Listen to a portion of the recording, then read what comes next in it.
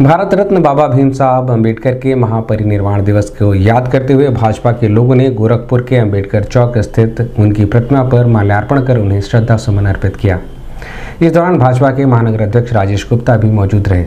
माल्यार्पण करते हुए भाजपा के लोगों ने संविधान निर्माता के अमूल्य योगदान को याद किया।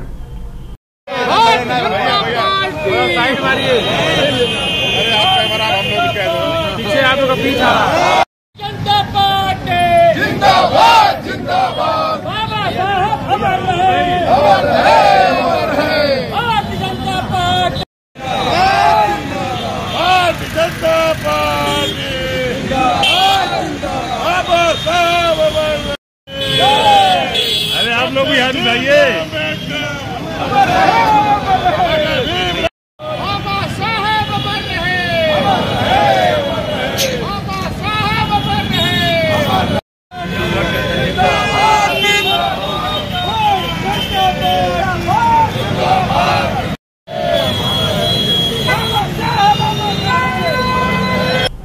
इस बारे में मीडिया कर्मियों को और अधिक जानकारी देते हुए भाजपा के महानगर अध्यक्ष राजेश गुप्ता ने बताया। आज बाबा साहब का परिनिर्वाण दिवस है।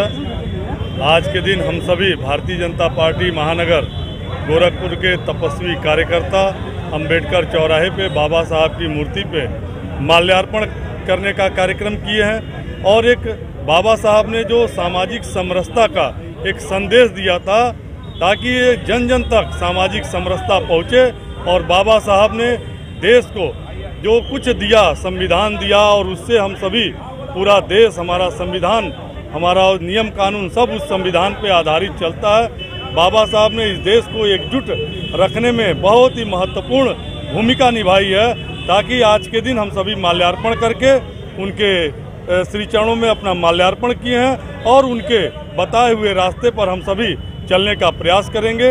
यही हम सबका धर्म और कर्तव्य भी बनता है। निश्चित ही बाबा साहब सामाजिक समरसता के अग्रदूत अग्रदूत थे। जब छुआछूत चरम पर था तो बाबा साहब ने समाज को एकजुट रखने में अपनी बहुत महत्वपूर्ण भूमिका निभाई है। जाति पात का जो भेदभाव मिटाकर समाज की मुख्य धारा से समाज के शोचित वंचितों को जोड़ने का काम बाबा साहब ने किया। निश्चित ही उनके बताए हुए उनके बताए हुए प्रेरणा के रास्ते पर हम सभी चलने का प्रयास कर रहे हैं।